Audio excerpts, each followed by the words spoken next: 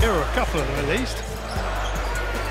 Upstairs they go, and Pangos finds Aaron White and Zalgiris lead for only the second time in the contest.